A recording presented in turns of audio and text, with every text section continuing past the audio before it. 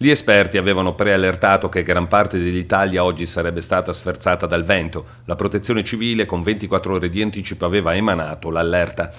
Gran parte del nostro paese è interessata da venti fortissimi che in alcune regioni del nord si è abbattuto con una violenza inaudita arrivando a toccare i 200 km orari. In Veneto i disagi hanno riguardato in particolare il territorio della provincia di Vicenza dove le raffiche hanno abbattuto pali, cartelli, coperture e addirittura pannelli solari e fotovoltaici. Da ora i vigili del fuoco sono impegnati in interventi di ripristino. In alcune zone gli alberi sono stati abbattuti finendo sulle strade.